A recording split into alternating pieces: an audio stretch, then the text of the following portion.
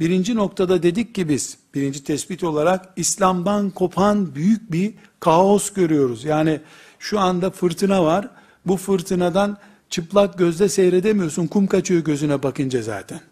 Ne oluyor diye bakayım desen, kum kaçıyor gözüne bakamıyorsun. Ama gözlükle veya dürbünle bakınca fırtınanın içinde aslında büyük bir gayret Hasan el-Benna'yı görüyorsun orada. Rahmetullahi aleyh. Mağaraları, dağ başlarını Allah'a iman için kullanan Said Nursi'yi görüyorsun orada. Ebul Hasan en-Nedvi'yi rahmetullahi aleyh izleyebiliyorsun.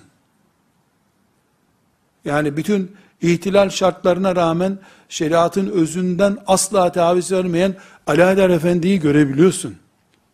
1, 3, 5 diye parmakla böyle gösterilip sayılacak çapta da olsa var elhamdülillah. Burada kardeşlerim, çok önemli bir ayrıntıya temas etmek istiyorum. Said Nursi rahmetullahi aleyh, Seyyid Kutub'un yaptığını çok daha yaygın, çok daha uzun süreli ve uzun soluklu olarak yaptı. Ve kesinlikle bugün Türkiye Müslümanları olarak belki diğer toprakların Müslümanları için bunu bu kadar kat'i bir şekilde söyleyemem. İman davasının iman diye bir davanın e, mevcudiyeti.